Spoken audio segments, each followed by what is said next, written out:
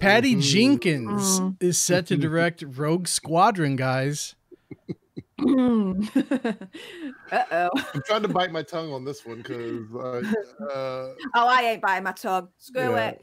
Yeah. Right when it was announced, um, and that she she came out with with the gear and and the helmet and everything i was like with everyone else yeah go yeah. party go party go party i was proper excited about it then the trash fire that was wonder woman 84 was released see i disagree with both of you on that now i'm not as excited i thought yeah. wonder woman 84 was better than the first one i, I truly oh. especially huh? especially this the scene where steve uh, Steve Trevor was uh, literally teaching her to fly from beyond the grave.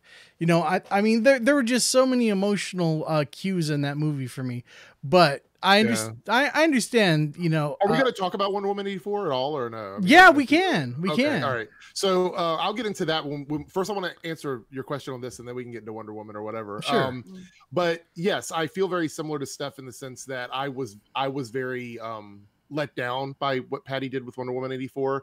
Uh, I don't think it's like so. Here's the thing: I I've seen worse movies than Wonder Woman 84. Oh, God, yes. Way. But inside the DCEU, inside yeah, in, inside their own franchise. But I will say that Patty Jenkins, for me, did such an amazing job with the first Wonder Woman mm-hmm. that I mm-hmm. had very high expectations for Wonder Woman 84, especially since it was in the 80s, which is one of my favorite I know, periods. Me too. Like and I'll talk about why that bothered me when we when we talk about that specifically.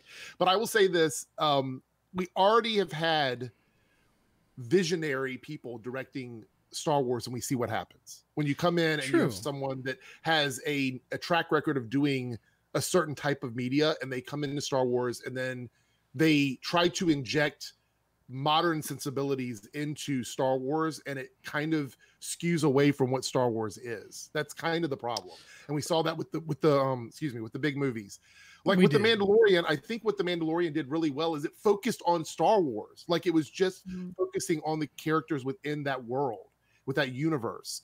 And when you have someone come in like Patty, who does a great job, I think, of taking modern things and mixing them with stuff, but you have her come in and you put her into a world that's not supposed to really connect with our world. Like, let's be keep this in mind here. Star Wars is not like Star Trek. It's not Earth, you know, two thousand years right. or whatever. It's a, right. it's a completely separate world with different people that grew up in different societies. Like, mm-hmm. so having her like come in to direct something with Star Wars, I am very worried that we're going to try and modernize it by Earth standards, and I don't want to see that in a. I don't want to see that anymore in Star Wars. That's just my thoughts on it. I understand that. So, so do you think? Do you think that maybe uh, she would have been better off if uh, they would have given her like Knights of the Old Republic or something? I I don't know because okay, so when I think of Rogue Squadron, I don't think of the kind of stories that, that Patty tells, but that doesn't mean that she can't do it. I mean, she could do it and it could be absolutely amazing. Patty is a is a um, character driven writer. Like she likes she to is. write character stories. That's what she does. She's a director that likes character driven things. Like so, the stuff that she scripts out, the stuff that she directs, she typically focuses on that. That's why sometimes the larger stories in in her in her concepts and ideas don't always work out for the best because she's focused more on the character moments.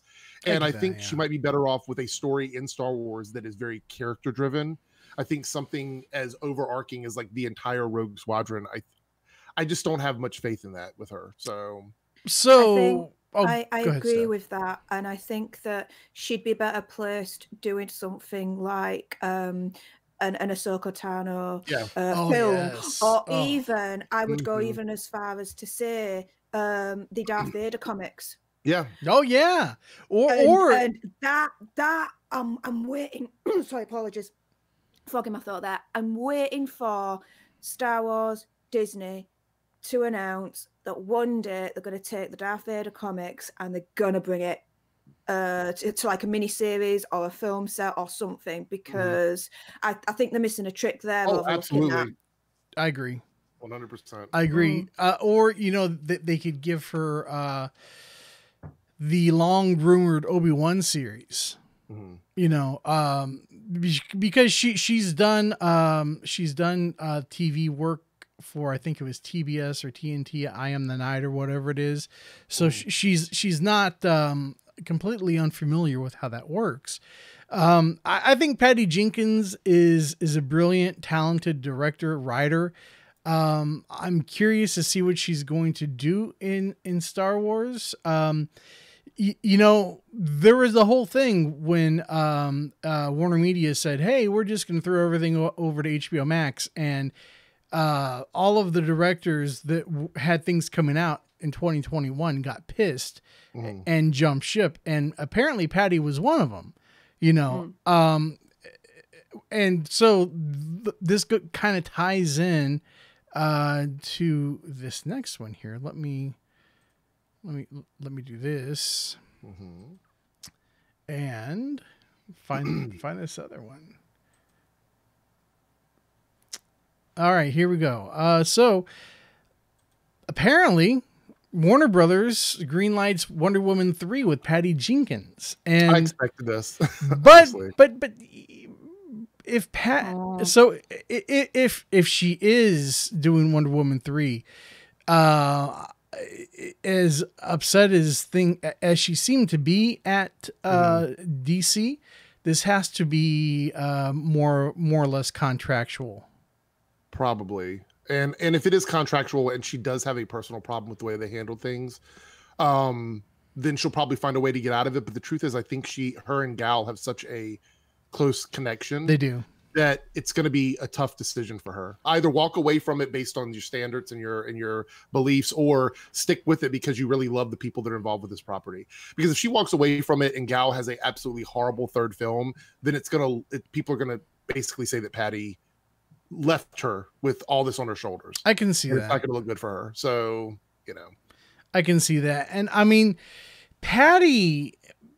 Patty is a visionary, and I think that Patty is would be good for DC if if uh, AT&T would just let Warner Brothers run DC, you know, without Warner Media and all of that other crap.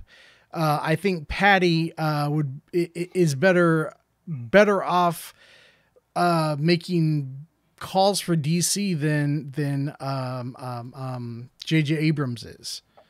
Mm, okay. You, you know, yeah. Patty Patty Jenkins is an old school Superman fan. You know, she's read, she grew up reading the comics. She knows the material, as where people like JJ probably not, probably yeah. not. JJ's another director who um he likes to modernize mm-hmm. things in, a, yeah. in a very a unique way, and some people like that, some people don't. Um, I've liked some of JJ's stuff, but not all of it. So, sure, sure, sure. Me yeah. too. Me too. I, I I really do enjoy. I mean, the first the first Star Trek movie that he did, I I thought was pretty cool. Mm-hmm. Um, you know, and, and I thought it was interesting that he created the Kelvin verse to where it wasn't really a reboot, so you couldn't get Thank that goodness. upset. Yeah, Thank I know. Like, I feel like yeah. if, you're gonna, be a director and they're gonna let you change that much of the world, just give you another universe because that way, if mm. people don't like it, they can just ignore it. Exactly, exactly. All right, so you want to talk a little bit more about Wonder Woman eighty four? I mean, I figure we could. I mean, it, we we didn't get a chance to, and that was something that happened over the holidays. So I yeah. thought we could maybe mm-hmm. drop it in there. Um, so you said that you that you really you you said that you liked it better than the first Wonder Woman. Um. Well, yeah. Okay. Let me just say, I, I think. by the way, you're the fir- you're not the first person that said that. I've heard other people tell me that. Before, I think so. there are. I think there are scenes in in uh, Wonder Woman eighty four and like very big emotional beats that mm. I enjoyed more than uh like some parts of Wonder Woman the original one. Okay. Um but overall I would have to say that the original Wonder Woman is a better film. But uh I, okay. I think Wonder Woman 84 is a better superhero film if that makes sense. Okay. Yeah, yeah. No, I mean, I get don't. what you're saying. Yeah, yeah. I get what you're saying. I don't. I don't necessarily agree with your opinions of it, but I understand why sure. you're saying it and what you're saying. It doesn't make sense to me, and I'll tell you why. Um, Wonder Woman '84. there's a film missing between first Wonder Woman and Wonder Woman '84. Um, there's a lot of things that are just completely shoehorned in that you know Patty Jenkins is just expecting the audience just to accept and that's yeah, it. You know, like the armor, like that armor that should have been introduced in such an epic way, but instead it was just kind of wanged in the back of like a closet or something. What was the like, point oh, yeah, of the armor? armor. Well, I mean, like, what? The the the only part, and to my understanding, the only it looks good in advertising. It did, I mean, but but really, to the only way that I can think uh, of the armor, the only way that it made sense is so that uh, they could tie in Lynda Carter at the end. And you remember the last show we did, we were talking about is Lynda Carter going to make an appearance? Yeah, and she sure as hell did. so many opinions about this movie. We're, uh, I'm gonna try and not spend a lot of time on it, but I think that the Lynda Carter cameo was handled very poorly. It, it could have yeah. been really good. I think it was it was not great. Um, I think that the emotional moments, like you said, you felt emotional connections to some stuff, Shaun. I was completely disconnected from this movie. Mm. And it happened for me very early in the film. And I can tell you exactly when it happened. Okay. It happened when they introduced the Steve Trevor storyline. That is when I completely emotionally checked out from this movie. And the reason why is because I cannot, I could not accept in a 2020 film release that we are okay with the way that situation was handled because it was not like okay. if you go back to the 80s I I've watched everything Quantum Leap. I will give you that. Body swap movies.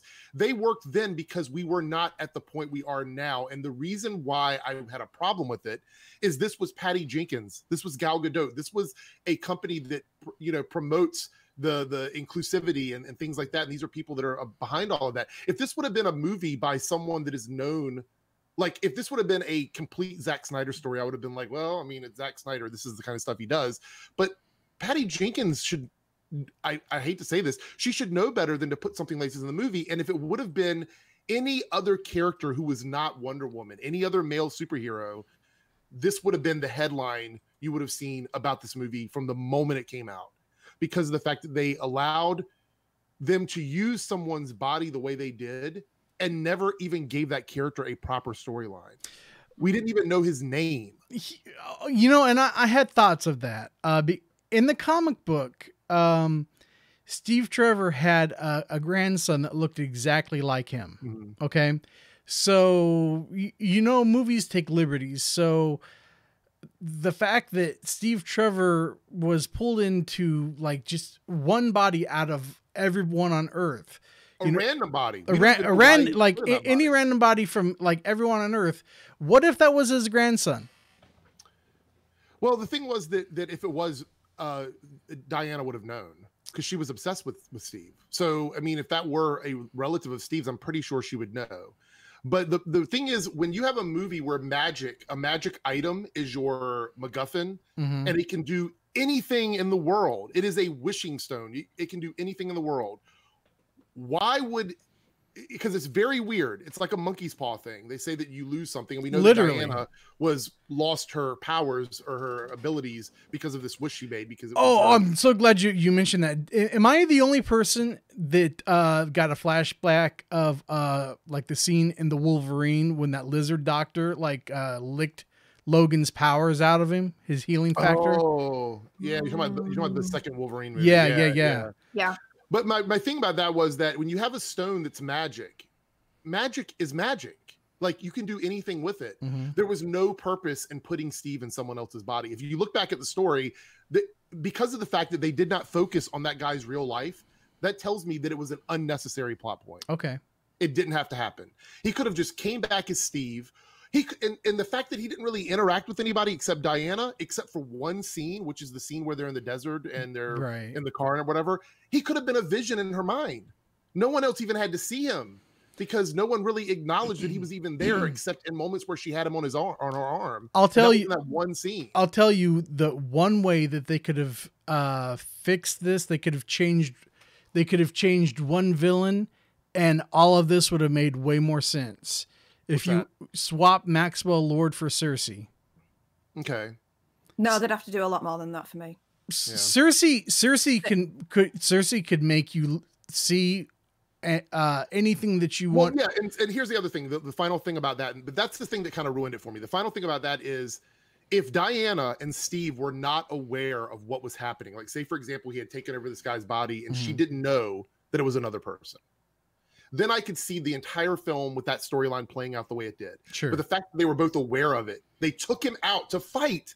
They took this random person's body out to fight people in the middle of the desert. They were doing whatever they want with this person's body. That's true. It's pretty careless, right? Because what on top of that, she's like, "Oh, we don't have a passport for you because you know you're from the World War One." Well, the dude has a passport, obviously. You're, you do not look like Steve Trevor. He looks like this other guy. So get the other guy's passport. What difference does that make? It's just that whole like the whole Steve Trevor storyline I could not get past it. It literally was a brick wall for me. And so the rest of the movie, I was nitpicking times a thousand because that one thing kind of bugged me. But there's other stuff that bothers me. But that is probably the biggest issue I have with the movie is that decision on having Steve. Uh, Cody says uh, they could have uh, brought in a multiverse. Yeah, Steve. They could have done so many other things. They're, they're, yeah, I mean, travel. You're you're right. There's so many different things that they could and I, am gonna be I'm I'm gonna be apologetic for the film because you know I enjoyed it, but I I I I completely uh, agree with a lot of the points that you guys are making. You know, they they could have done so much but that third act, that third act was not Patty's original act. Yeah, I've heard that that was changed. Yeah. So, so who knows? Who, who knows? Um, but Steph, what are some of the other issues? I'm curious. Yeah, yeah. You have because I want to know. You've heard my big one, so I want to know what your. Uh, let me count the ways. Okay, this is essentially Aladdin with a lamp, but instead of the lamp granting wishes, it's a dodgy stone. Um, the whole thing about you know Steve kind of being miracleized into another man's body and coming back from the dead. That is a big issue that I've got. Um, I mean, to be fair, later on, uh, the the wishing for um, uh, nuclear weapons they were physically created out of yeah. nowhere. Yeah. So why why could it have been that with uh, Steve Trevor? That's a great point. Instead of just his metaphysical form coming back, his actual physical form coming back as well, because the stone has no limits in that regard. If it can just create freaking um, nuclear bombs out of mm-hmm. thin air. And then what happened to the stones? Uh, what, what, happened to the stone? It, it, nobody knows. Yeah, it wasn't addressed. Yeah, not properly. Um, because it, it Maxwell was, it... Lord uh, wished to become the Stone Incarnate, but after he gave up his wish, the stone should have reappeared. It's still out there. Someone else could find it. We could have a Wonder Woman versus the Stone sequel. Uh, Jaden, and I didn't think about this. Uh, what do you guys think? Jaden says, "I know I'm not the only one to mention this, but didn't Diana sleep with that random yeah, guy I mean, while he big, wasn't yeah. conscious for things. it?" Yeah. And I'm assuming it happened more than once. If it happened once, it probably happened more than once. I mean, when you love someone, those things are going to happen. It's just weird. Yeah. The the ending, uh, I absolutely hated. I did too. Um, it yeah. was it was basically Patty Jenkins and Cersei. Gal Gadot on their freaking soapbox, uh, and then you've got Maxwell Lord in the middle taking all these wishes, and then he kind of runs away to his son and they live happily ever after or something stupid like that. Maxwell Whatever. Lord was my least favorite part of the movie. Oh. I think the problem with me with Maxwell Lord is Maxwell Lord. Okay, so I think Patty said the reason why she wanted to make this movie in the 80s was she wanted to dial back to like the Richard Donner Superman. Superman yes, yes. Okay. So Maxwell Lord took all the worst elements of 80s villains and he tried did. to make it into a modern villain in a movie where no one else is committed to the 80s. That was my biggest issue. Maxwell mm. Lord was committed, overly committed to 80s characters. No one else was. And if you would have taken the first mall scene and the clothing and just swapped that out, you could have put this movie in any time period. It didn't have to be in the 80s. There was nothing inherently 80s about it. And matter of fact, I will argue that the third act would have made more sense if it were in the 80s because you're talking to people through a TV because you want to touch them. How are they wishing to you through a television? TVs don't have microphones in the 80s. You can't talk to your television. And on top of that, people are running around in the streets recanting their wishes when the only communication that they have is TV. There's no cell phones, there's no tablets, there's no smartwatches, there's nothing. I know. If that scene would have taken place in modern times, I could believe that some random dude walking in the streets is able to watch what's going on but yeah. not in the 80s. No. So it's like it just totally crapped the bed. It could have it would have made so much more sense to make it modern. Like I uh, just don't understand what uh, the, the third one is supposed to be set in modern times and for Thank for, God. for the love of God, I hope that it is. On top of that, Diana who had been in hiding, which by the way, I think that crippled the movie a little bit as well. I think trying to hide Wonder Woman according yeah. to the timeline of the DCEU that really all it really bothered me in the movie sense because I love like the mall scene, super cheesy. But I was thinking that was what the whole movie was going to be, and I'm like, okay, I'm going to commit to this Guardians of the Galaxy Suicide Squad playground that we're going to have. And then it never continued that. After that mall scene, it just kind of went downhill after that. But I will say that Diana hiding. Do you mean to tell me that she's involved heavily in the art world all the way from like World War II to Justice to League 2020, and no one notices that this woman never ages? Yeah, I know. She's an I, art I know. dealer.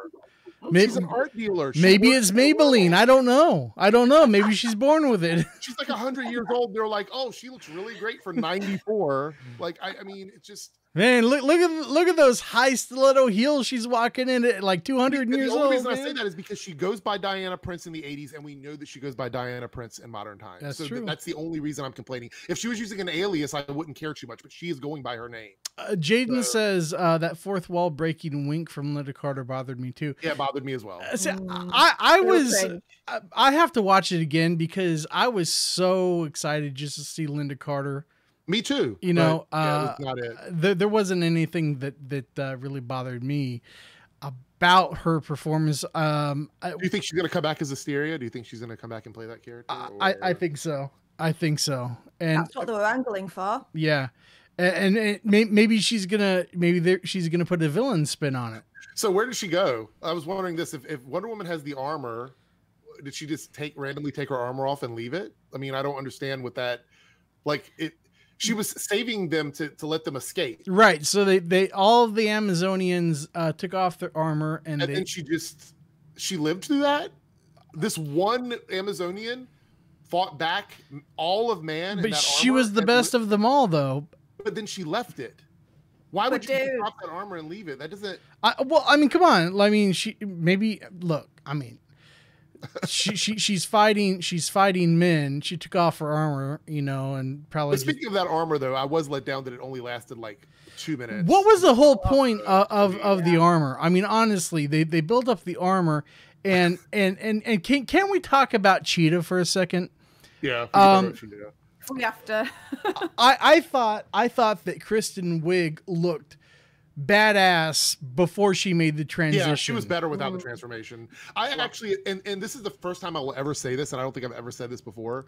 Um, I would prefer her to have just worn leopard print and, and been Yes, thank you. with claw gloves or something. Just but Like, the way that she was looking, even if she wanted to have like retractable nails, The yeah, the only know- thing I loved in this movie, the only fight scene that I loved that I have no complaints about is the White House fight. oh, that was him. great. That was so That was, like, good. the best fight scene. the whole movie. lasso i mean uh yeah, but and, and then every time that that that uh um that uh, gal was running you could tell that she was on wires Yeah.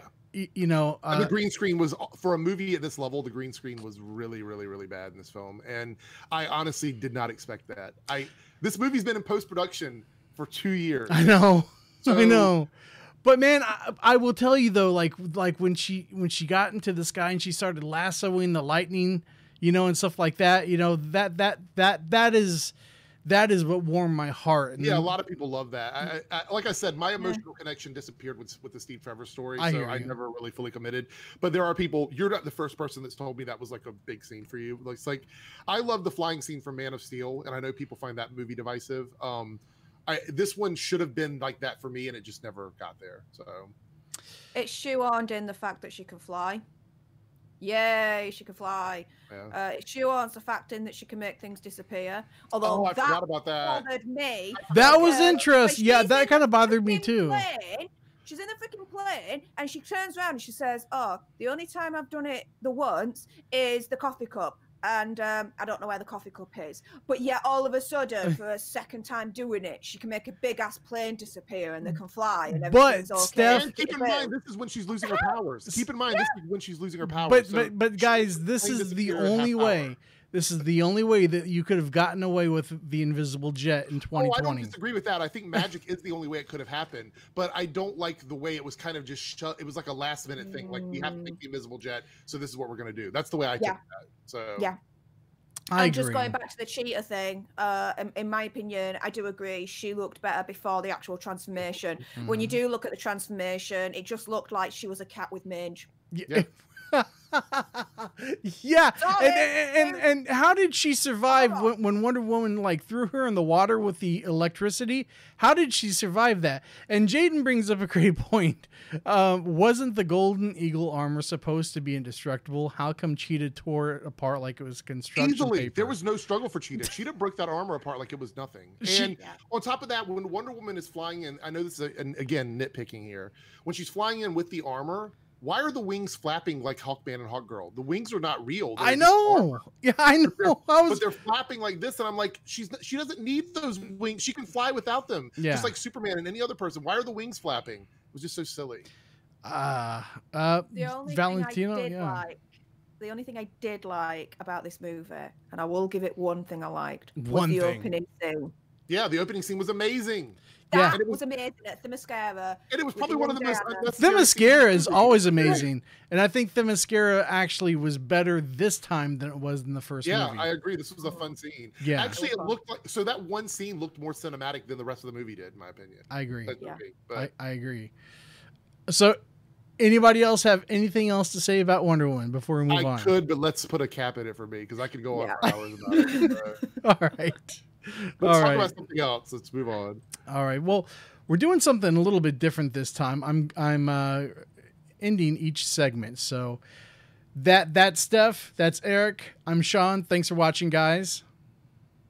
This is me hugging you over the airwaves. Mm. Mm. Mm. you feel that? And we're back. Gives us a good break there, so you can split it up if